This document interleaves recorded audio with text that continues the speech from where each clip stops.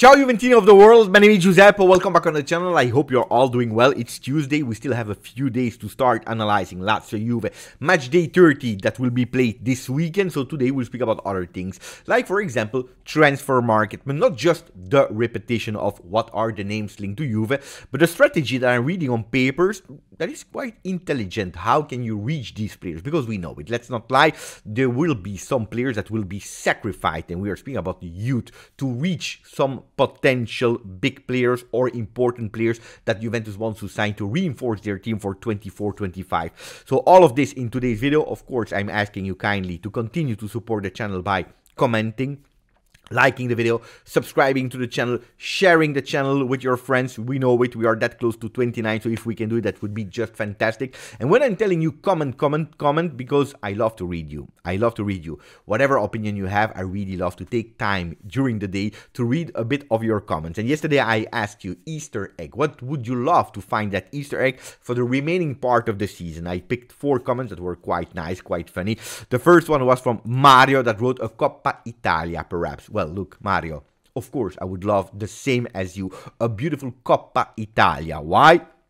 Because after two years where Juventus didn't lift any trophies, would be time, would be great, would be fantastic to end the season with a trophy. So I totally agree with that one. A funny one from Rico the Unknown that wrote in the Easter egg, I want Simone Padoin to jump out in his fully Juve kit, ready to play at the weekend. Well, that first part could even be possible. Why? Because he's in our technical staff, so seeing him out of that uh, Easter egg, why not? It could potentially be.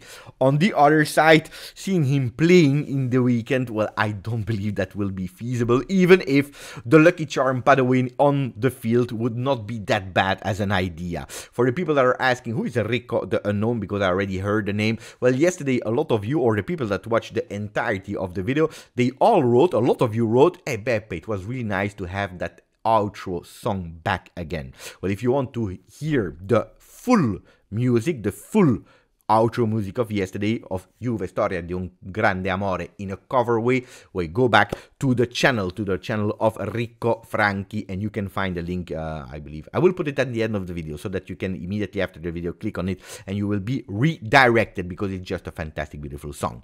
Matthew, in the Easter egg, I would want a ticket for a Juve game, and that was really beautiful. That was really touching. You know, sometimes we don't realize how many of us are loving that much Juve, but never had the opportunity to go to the Allianz Stadium, never had the opportunity to watch a Juve game live. And whatever the moment, that fantastic moment, difficult moment, one of the biggest dream of every single Juventino of Earth is going there to support the team, to watch our idols on the field. So hopefully, Matthew, you can have one of the tickets uh, for the remaining part of the season, if not for the coming seasons. I would love to. And when you do, please let me know because I want some pictures. And then the fourth comment, the last one before entering that Mercato session, the one of Rafal, Rafal Thomas that I really liked his comment because it's actually two parts, two, two things that he wanted. The first one, he wanted the Scudetto 05 06 back. And then he said, shut up, dreaming is free. Look, on that comment, um, has been already officially decided that this uh, Scudetti will not be given back to Juve.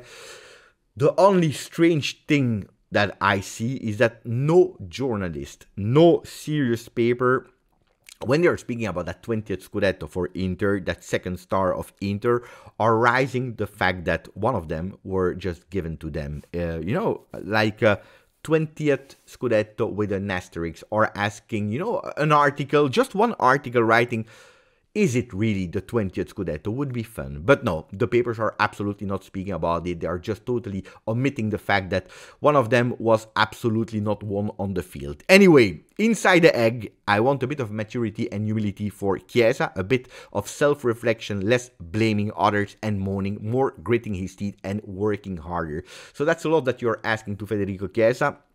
We already spoke about Chiesa in, uh, especially yesterday, who I would love to start between Chiesa and Yildiz. If you didn't watch the video, go back and watch it. Thank you for all your comments, they were really nice. Now, this weekend I told you, not only Juve will play against Lazio, which is super incredibly important, but there are some other games that are important for that fourth spot, for that top four for that qualification of Champions League. One of them is Napoli Atalanta. Napoli, Napoli, the last chances to really believe that they can do it with a remontada, hoping in that fifth spot for Champions League. Atalanta is also there also playing for that fifth spot. So it will be a big one to understand. A draw would be just fantastic. Another game that we have to monitor is Fiorentina Milan. Not that Fiorentina has that much uh, chances, but Milan, you know, dropping points against Fiorentina would be lovely, especially because they have a lot of problems in their defense. Bologna against Salernitana. Salernitana is a really tough, difficult moment, so I believe that Bologna will push and win again the three points.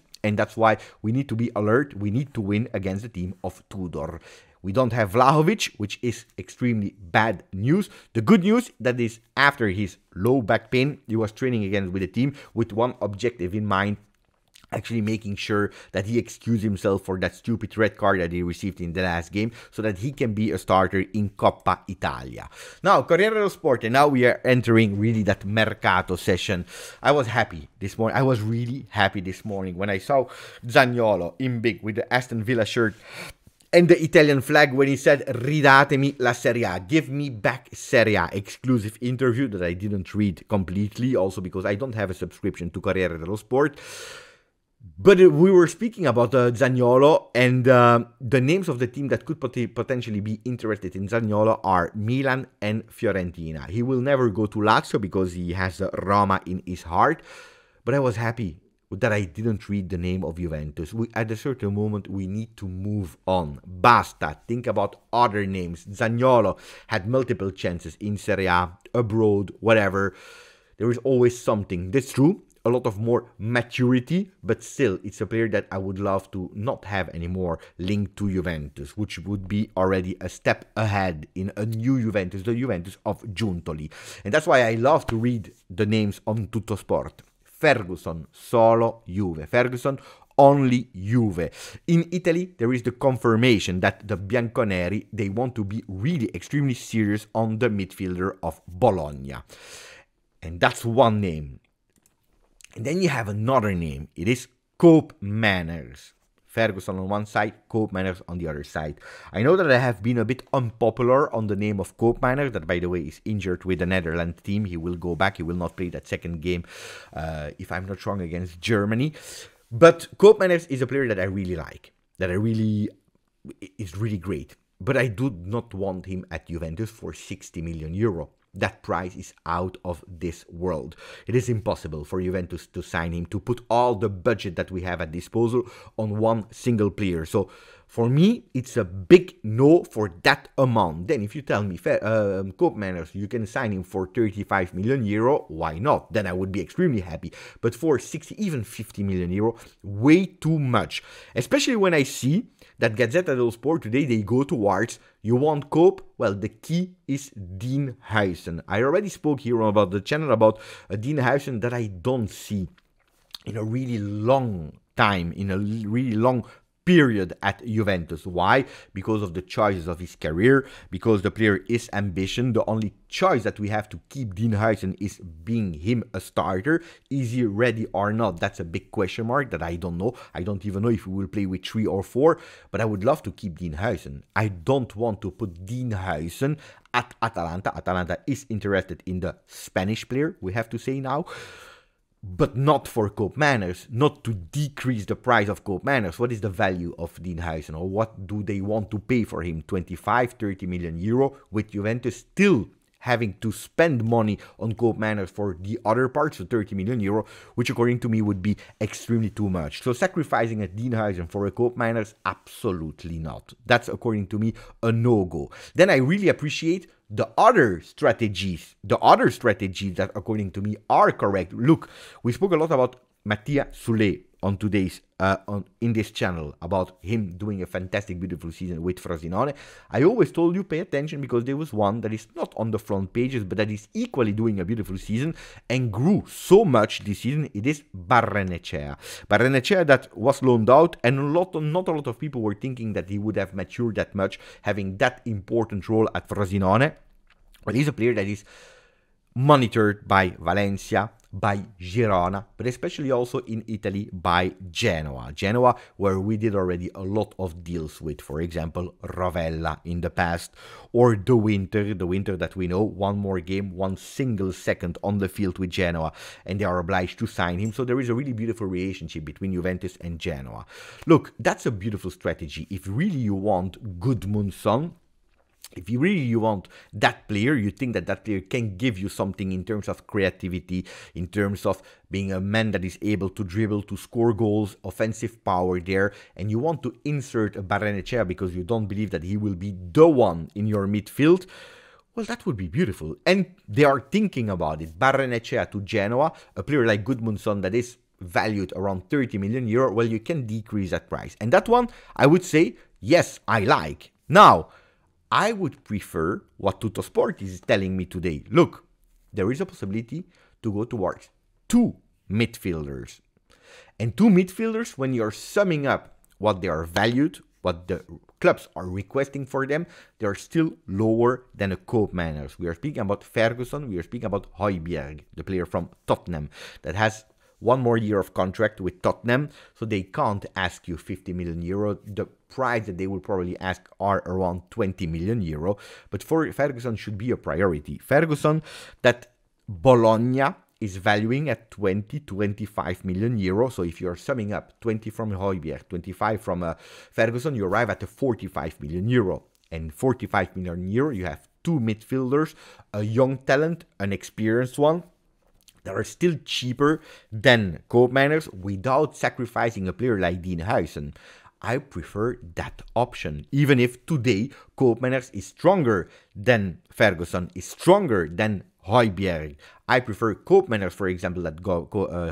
I don't like that much Højbjerg, even if I believe that the guy has physicality, can be there in the midfield, especially if I will tell you what can happen with our midfielders are still at Juve in a second. So that, according to me, is a smart one. Also because if you want to go towards Ferguson, well, Bologna is ready to talk about some players that you can put there like Barbieri, Barbieri that is doing really well at Pisa, but also about Nicolussi, Hans Nicolussi Caviglia and that are two players where you can insert, of course, not with a big amount, but even if you can reach a 10 million euro, a 12 million euro, reducing the price of Ferguson, that would be, according to me, extremely, extremely smart. Why was I telling you that you can go towards two player, and why can Højbjerg be one of the players there? Because we know it at the moment, we have no final decision of Adrien Rabiot.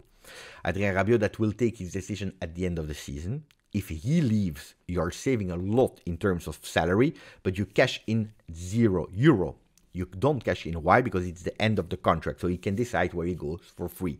I wish, I hope that he stays at Juve and you can only focus on one player, Ferguson, with an additional player that is, for example, Fagioli, and looking for another cheap solution to have quantity in that midfield. If not, if not, if Rabiot doesn't extend, you need to find another player with these kind of characteristics. And who are the players? Well, I told you about Højbjerg. Another one is Merino from Real Sociedad. That are that kind of Rabiot style of player to put a bit of physicality. Another player that is not sure to stay at Juve, it is Weston McKennie that lifted the trophy. Yesterday we said congratulations to him. On the other side, Weston McKennie looks like the first talks to renew his contract I believe it's ending at 2026 to renew his contract, they are not going that well because he's asking for an increase of salary. Weston McKennie is not a player that is earning crazy numbers. I believe he's earning between 2.5 and 3 million euro. And he's coming from a fantastic season. Uh, probably our best and most consistent midfielder this season that I praised all season long if at the moment I have to say one of the top three players of this season, I would say you without any doubt Weston McKennie. Then we can discuss about position number one, two, or three. But without any doubt, on the other side, we're speaking about Weston McKennie that didn't do that well before, that went on loan to Leeds where he totally flopped. It's a player that is doing one beautiful season. I need to see more consistency before going with more, not more years. That I would be open to do but not if you are asking for more salary. after one season that is not even ended, after let's say three quarters of a season, I think it's way too early. And if we can't go with the same agreements, just extending one year or two years, uh, by the way, his contract is ending at 2025, not 2026. Well, it's a player that I would say, okay, we put you on the transfer market after a beautiful season. We can cash in more than what we asked for you one season ago because you showed there is more interest in you. We cash in and we go for other midfielders. That's my opinion. So extending McKennie more than 2025, yes, but at the same conditions, not more. According to me, eh, let me know in the comment section what are the other options that Juventus is also looking because you know it. Eh? If you have Uh, a McKennie, a uh, Rabiot that not are not 100% sure to stay at Juve. If you have a Fagioli that yes will come back, but we not, don't know yet at the moment what level he will be back, well we are thinking about changing maybe something. Instead of going only to look for Mezzala, is moving Locatelli to again a Mezzala role and looking for some regista. A regista that can be Fagioli, possibly, because he has the qualities to do it, but also looking abroad. A player like Amrabat that was linked to Juve, I believe, one year ago after the World Cup. He was linked to Juve, which he did a fantastic, beautiful work with Morocco. He did a beautiful season with Fiorentina, totally flopped at Manchester United. Look, that's a name that I personally would totally put aside. And then another name is Zubimendi, also another player from Real Sociedad, a player that can play as a Regista, can play in a two-man midfield like they showed with Spain. Interesting, young player. I believe he's 25, 26 years old, if I'm not wrong. Let me check. 25 years old. He's a regista that can be there to move Locatelli on the right or on the left. Could be an interesting idea, or maybe even playing with two so that you don't have to spend that much. If you play with two midfielders, you have four man defense, two midfielders, three offensive player, and one striker. Or if you play towards a 4 3 3, while having a new regista without Rabiot, without um, McKennie, you can move and switch Locatelli there on the left or on the right. So interesting touts. Nothing is defined yet. Nothing is sure yet. Also because Juventus is waiting for the official qualification to the next Champions League. But interesting touts like the one of, for example, Calafiori. Calafiori, that is a player that yesterday I told you should be one of the big priorities of Juventus this summer immediately because it's a player that can play you in a four-man or in a three-man defense, can play with Max Allegri can play potentially also with a Thiago Motta, the same as Ferguson that would play in a midfield with Max Allegri, but also especially with Thiago Motta. So these are the players that are really priority. But how can you drop the cash, the initial request, well, there is a player that Bologna is interested in. After a difficult start of the season, well, Facundo Gonzalez is doing extremely well at Sampdoria. Facundo Gonzalez that we signed, he played, I believe, one game with the next gen, then we loaned out for experience. Bologna is quite alert, they are looking for him. Well, he could potentially enter to go to Bologna, where Juventus go for Calafiori. Interesting really interesting. These are the things that I personally really like and think are really smart strategies because don't dream eh? qualification to champions league fifa world cup it's not that suddenly you will be extremely rich it's not that you can go and spend everything like the names of Koopmeiners that i personally never really believe that that would be something real if you're looking at 60 million euro forget about it now i believe that Giuntoli is quite happy eh? that the name of Koopmeiners is all the front pages because more and more and more we speak about Koopmeiners, less and less and less we are speaking about other potential targets and we are going under the radar. Longer we are able to keep that strategy to be under the radar, longer we are able to keep that price lower because if the names are starting in March to be on the front pages, you can be, you can be sure that 5, 10 million euro are added on the player when you go to sign the contract. So good strategy if it's right. Don't do Koopmeiners Huijsen according to me that would be i think not not a smart one not a smart one. But anyway let me know in the comment what you think about it. If you still have time if you still have time look at the beautiful the beautiful thumbnails on the second channel football that are just beautiful. Really beautiful not only the thumbnails but also the videos where i'm speaking about international football. If you want to support the channel you can. We have now 1946 subs of course, the goal is to reach 2000, but of course, it depends on you. So if you can, that would be really appreciated. Grazie, forza, you Juve.